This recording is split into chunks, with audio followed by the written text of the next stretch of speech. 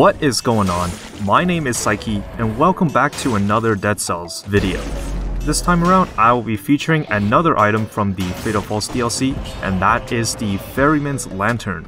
So I know I've been trying to feature the Snake Fangs for a while, but for some reason, I just wasn't getting it in my runs, so in the meantime, I'll do some showcase runs for other items from the DLC, so this time around it will be the Lantern.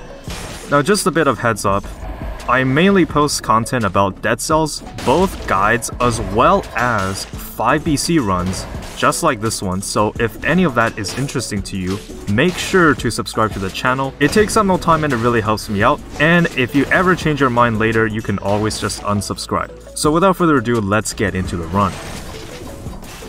A bit of warning though, this run is a spliced run, meaning that not all footage that you will see in this video is from the same run.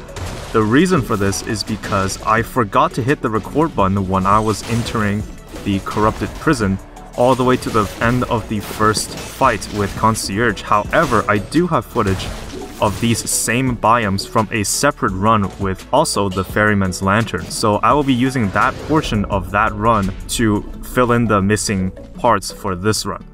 However, in that last run, I did die in the Slumbering Sanctuary. Rest assured that I went to exactly the same biomes and exactly the same routes using the exact same equipment.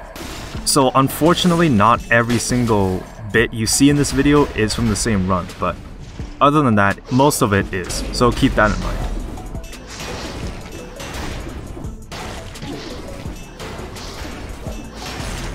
And here we get the Ferryman's Lantern. Now, actually this is the lantern that I will be using for the rest of this run, which is a pretty long time, but you know. And in case you're wondering, I do all of my runs in normal mode because I think that's how the way Dead Cells is supposed to be experienced. It's all about adaptation, it's all about finding things that work well and don't work well, so you can decide for yourself how to progress with your run, and that's exactly what I intend to do with my 5BC gameplay runs. So what I found out about the Ferryman's Lantern is that this is the first item in the game, the first two-handed item in the game that dual scales with brutality and tactics. Now, in the past, every single two-handed weapon in the game scales with survival. So if you think back to the Scythe Claws, every single crossbow in the game all of them scales with survival as well. So the lantern is kind of an oddball item in this game right now because it's kind of weird how it works. So the gimmick about the lantern is that you can hit things with a melee attack up to three times in a combo. And that's what the first button does, where you just swing around with the lantern. The second button, though, is where you can unleash the souls that you have gathered from killing enemies with the lantern's melee attack and if you unleash 3 or more souls at the same time, then it inflicts critical damage. Now good news, the critical damage is massive. Like it absolutely demolishes every single enemy if you can manage to do a critical hit with the flying souls. However, the flip side is that the melee damage isn't very good and you have to use it in order to gather souls in order to charge up the lantern. Now, a major thing that people complain about when this was just announced is that, well, how is this going to work in bosses? Well, actually, the third hit in the in the Lantern's combo steals one soul if you hit a boss with it. So it's kind of a problem though, because that means you're gonna have to hit bosses consecutively with a with the Lantern's attack, which already doesn't do a lot of damage, and you have to commit to the whole thing in order to benefit from the souls that you gather from it.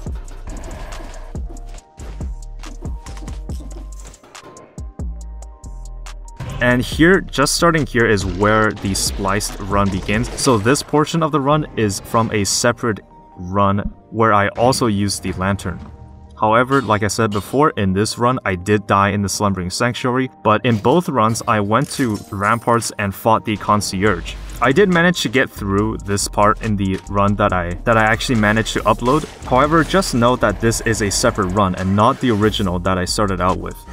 So one thing that I found out is really helpful is that the lantern, you can actually take the ammo mutation, which doubles ammunition for your weapons. However, the souls actually count towards the ammo count, so, so the ammo mutation actually is very very helpful if you're running the Ferryman's Lantern.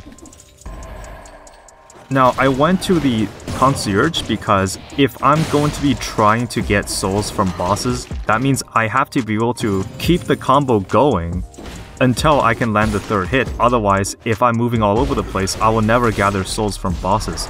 So this makes me think that the Ferryman's Lantern is not suited for the Conjunctivius fight, and maybe I would do the Mama Tick fight, though it is a bit trickier as well. And here I'm just trying to showcase how much damage it's able to do on the Souls attack. I'll, I'll just call it the Souls attack for now.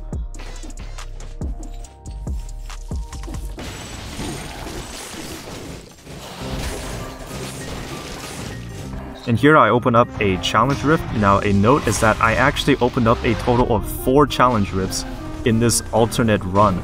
But in the run that I had in the beginning, I only entered like one of them. So I've got a lot of comments saying how I miss challenge rifts. And yeah, sometimes I do miss them, but that's because, you know, I'm usually really concentrated on what's happening at the screen at all times, that I just kind of forget they exist.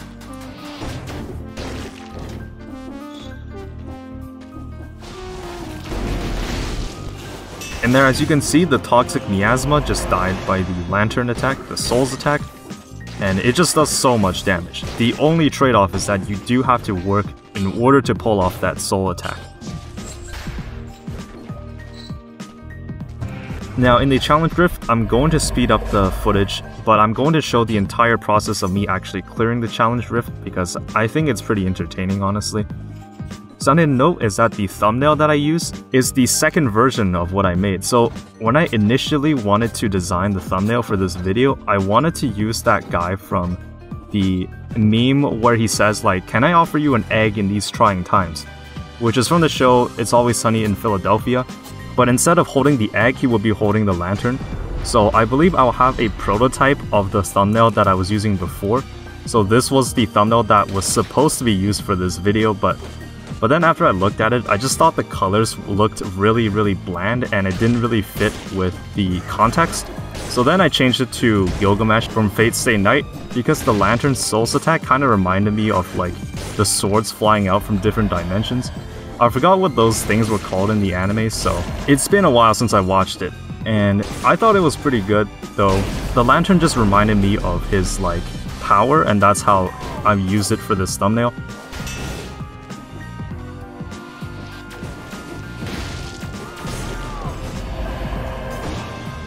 So moving forwards to the ramparts, the only reason I went to ramparts is because there was no other suitable option. If I went to the toxic sewers, then I would have to fight Conjunctivius, which like I said before, if I'm just trying to like predict what's going to happen, if I fought Conjunctivius, then I thought it's probably not going to work out. Conjunctivius is just flying all, all over the place. There is no way I can get in the third hit, which gives me more souls.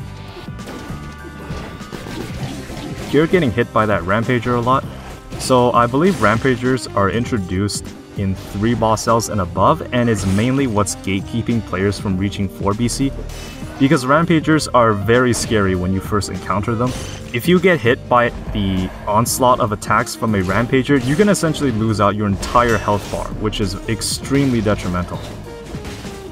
So one thing about Rampagers is that you just have to like roll into his attack and you cannot roll away from it. If you roll away from it, you will get caught in the cluster of attacks. So here I find yet another challenge rift, and it's because I left an amulet with extra jump somewhere on the map that I'm able to retrieve it and then go back into the challenge rift. Because the amulet that I'm using right now does not contain an extra jump. So sometimes if you see an amulet with extra jumps somewhere on the map, but it doesn't align with your color, you can always just keep it there in case you find a challenge rift so you can just use it to clear the challenge rift and then come back and then just recycle it. Like I said in the last video, I think Ramparts is also one of those biomes that you should just try to avoid because there aren't that many enemies here so it's very hard. I would say it's considerably harder to fill the 60 kill streak requirement for the door, for the 60 kill door, I know it is like the default choice for beginner players since they're they can't really access the other biomes and yeah, I mean if it's like if you have no other choice then yeah, sure, you can go to the ramparts, but overall I would try to go for other biomes. Now something to know about ramparts, on 3BC and above, you get a boss cell door that also leads you to Conjunctivius. So if you're on 3BC and above, not only does ramparts lead to the concierge, it also leads to Conjunctivius, which is an option that's not available to newer players.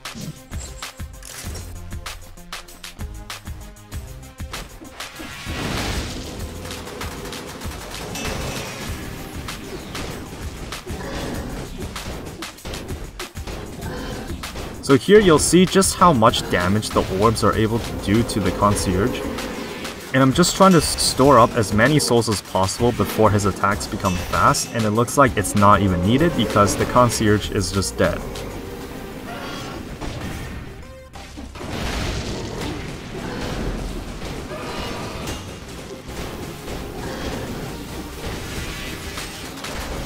Now unfortunately, I did get hit in this fight, so I did not get the no-hit doors. And now to the Slumbering Sanctuary. So this is now the original run that I started out in the beginning. If you're wondering how I died in the last run, is that I died to an elite ability with the crystal projectiles while I was cursed. So Maybe I'll show the footage on the screen somewhere just so you know how my other run ended, so it, it wasn't pretty. Because I knew the elite ability was coming, it's just that I didn't know where it was from, so unfortunately I lost the run. I died to the curse. And I'm just trying to showcase as much as as much of the ability as possible, the soul's ability, because it just does so much damage and it's very satisfying when you can actually pull it off. So as you can see, most burst attacks from the Flying Souls will one-shot elites. So that is very good. And on top of that, I find that the damage you do with the melee attack isn't actually that bad. Though as you will see later on, the melee attacks becomes less reliable the later you go in your runs.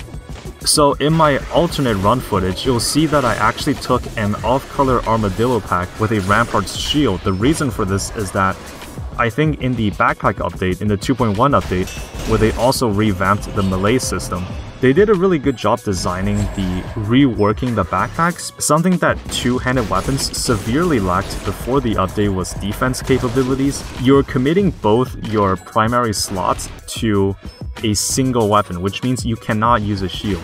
However, it all changed with the backpack update where you can now store a shield in your backpack and now you can run Armadillo Pack which uses the shield whenever you roll. So this is helpful in a variety of reasons. So something like the Scythe Claws is very very powerful, however because there weren't any defense capabilities, that's where it primarily suffered from. And you'll see here just dodging the golems, using the soul's attack to kill them, as well as the aliens. I know the aliens are pretty tricky to deal with, that's why I just try to use the flamethrower turret to clear them out.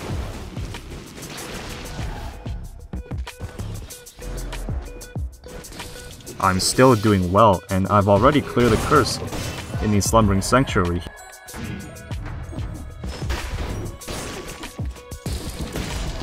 Here we find an elite, but as you can see, it's just no match for the lantern, because the souls that you can unleash from it just does so much damage and at one point I thought it bypassed the boss damage cap in the game, since there is a cap on how much you can damage bosses since if you just have like infinite DPS, you can clear out bosses in like 2 seconds, and that was like a way to prevent it.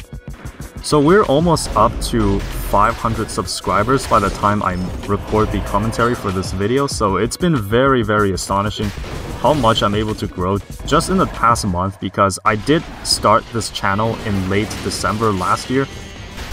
So being able to grow this much is just astonishing. I never expected to get this far honestly. I expected like 100 views on every video and it's all possible because of you guys which is phenomenal. So again, I'm just trying to showcase as much as the projectiles from the lantern as possible. It's able to wipe out basically anything that comes into its range.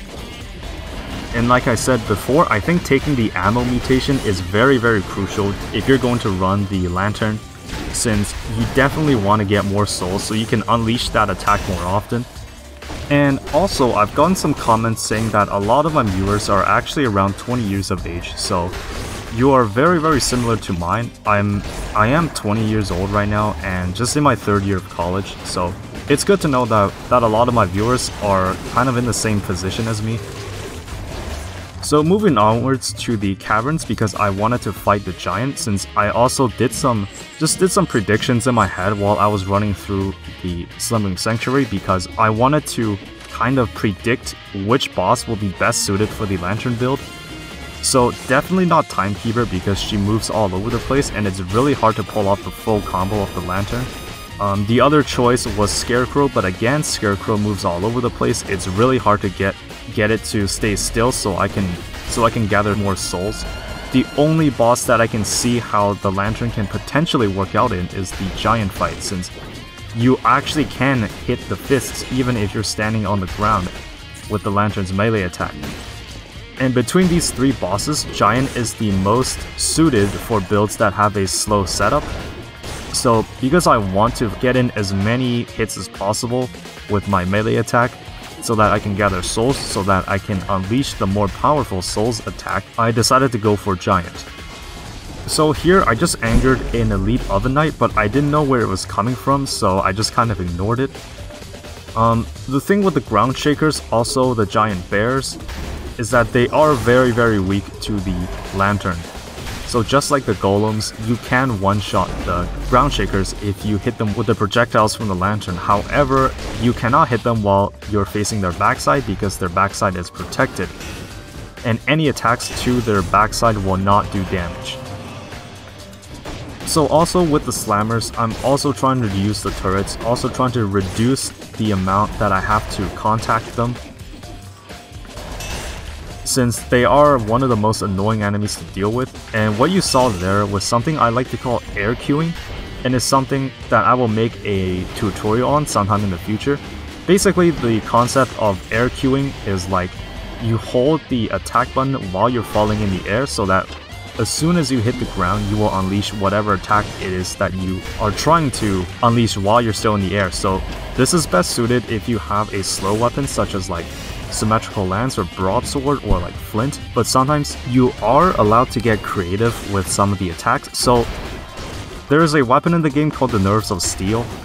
I'm not sure who has used it, but basically what you do with, with that weapon is that you hold down the attack button and after like a second the bow will like glow and it will create a sound effect and if you release the attack button while it's glowing then you then you get in a critical hit with the nerves of steel so something that I've learned with that weapon is that you can hold down the attack button while you're falling in midair, and if you can get in the critical hit as soon as you hit the ground, you can like unleash it immediately, which is something that takes a lot of practice of getting used to.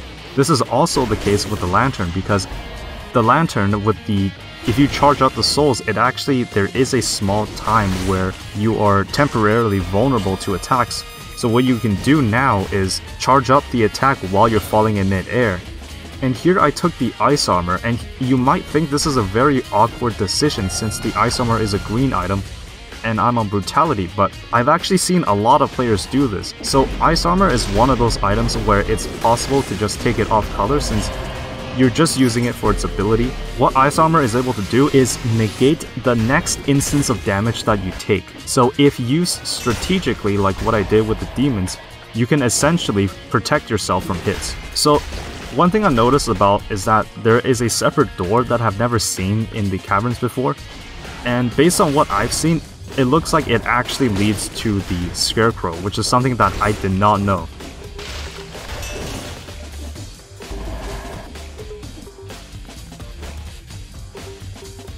So moving onwards to the giant.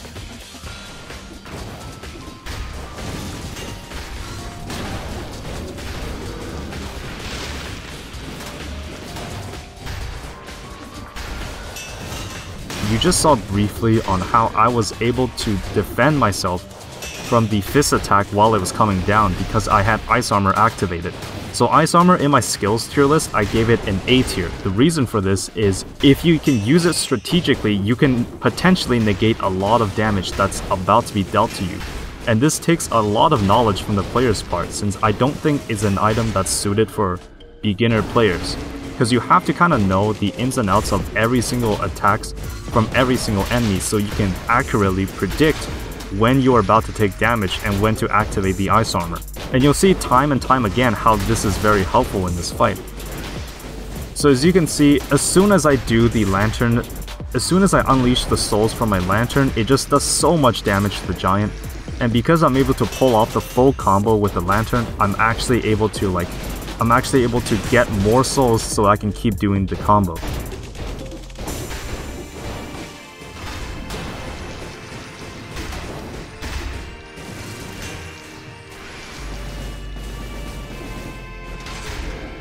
So we beat the giant, that was a no-hit, and move on forwards to fight Hand of the King. I just skipped Hype Castle because I didn't feel like it, and I wouldn't have had enough scroll fragments to get another scroll anyways. So how scroll fragments work is that if you get 4 of them, then you can get in another scroll stat. But the thing is, in both Distillery and the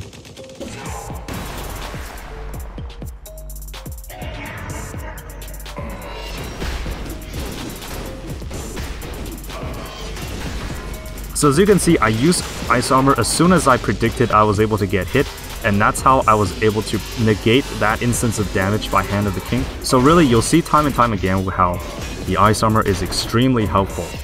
And like I said before, it is not a weapon that's accessible to newer players because I don't think a lot of people know how to use it. If you look at a lot of 5BC players, some of them actually run Ice Armor as like in a tactics build because again, it protects them from a single instance of damage. But sometimes that single instance of damage could be the difference between life and death, so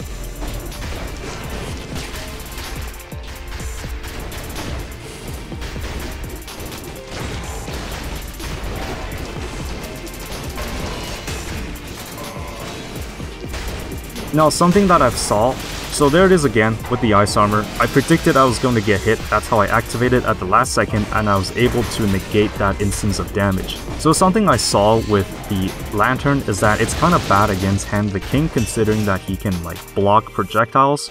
However, that's not really a problem and I didn't really have an issue getting the getting my attacks in since I always managed to unleash my soul's attack while he's performing some other attack so he's not blocking the projectiles.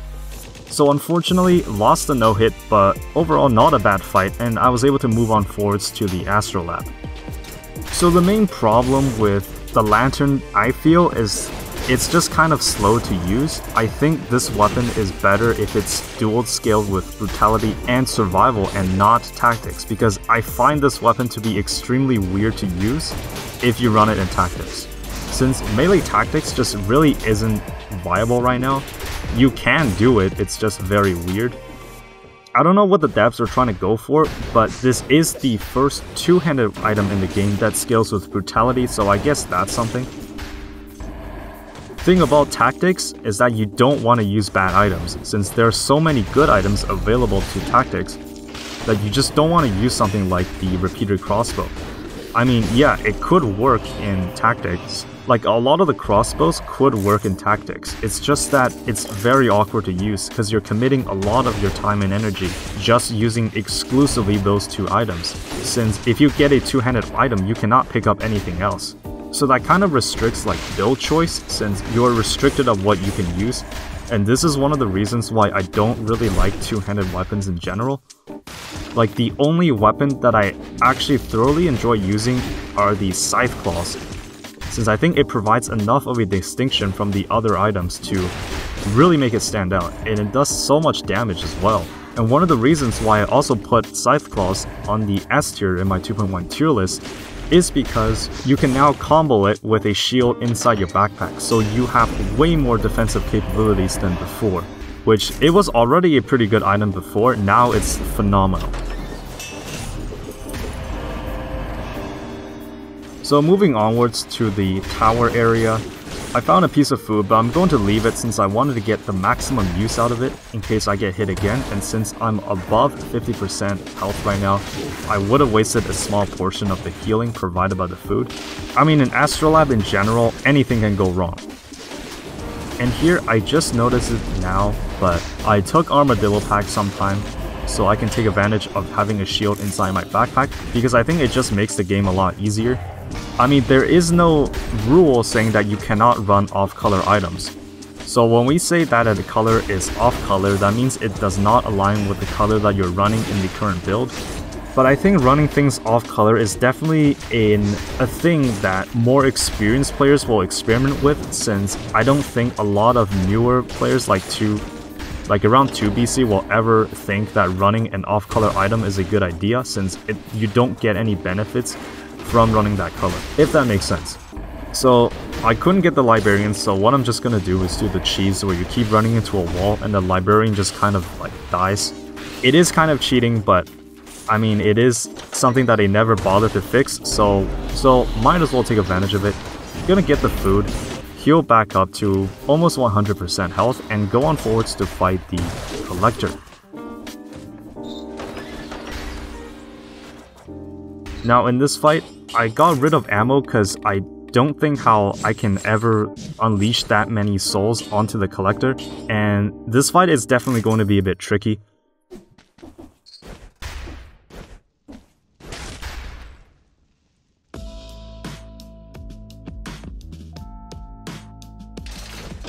So I watched Doc Firebird's showcase run of the Lantern, and in that video he unfortunately died to the Collector. So I'm going to finish this run for Doc, because it's only right that the Ferryman's Lantern gets the recognition that it deserves. So here we go, on to the Collector's boss fight. And spoiler alert, but this boss fight is going to drag on for a pretty long time. So how you can evaluate whether a weapon is good or not is judging how long this fight goes with the collector. So I said this in the last video, but if the collector ever teleports you to a room where there's a spike ball flying around, that, that means your build is not as good as it seems, since if you have a very good build, you will not get teleported to that room because he will just never have enough time to where he reaches that stage. Now, as you can see here, something really curious about the lantern is that I'm actually able to gain souls from the collector even though I wasn't able to damage him. So what you saw there, I just kind of used the melee attack to hit the collector even though he is shielded. And although I did no damage in that time frame, I was still able to get more souls for the lantern.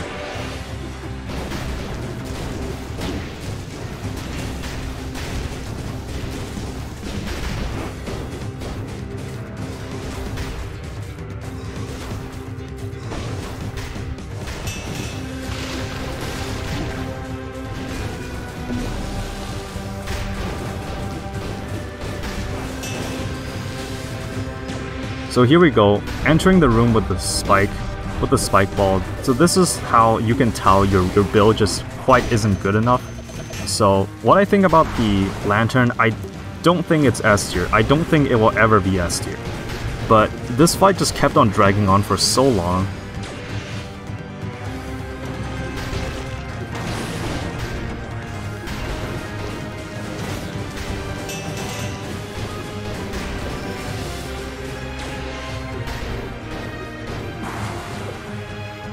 finally got the Collector down to his third and final heal, just trying to get in as much damage as possible since the longer you stay in a boss fight, the more chances of something going wrong.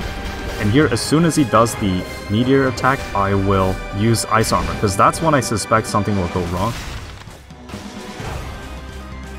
And here you kind of see how much of a drag this fight has been.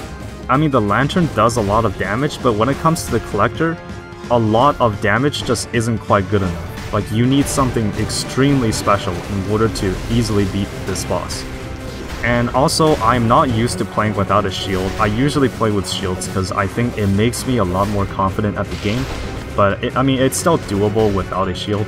I contemplated about removing Armadillo Pack since I don't see how I'm able to perform a lot of parries with just a shield in my backpack.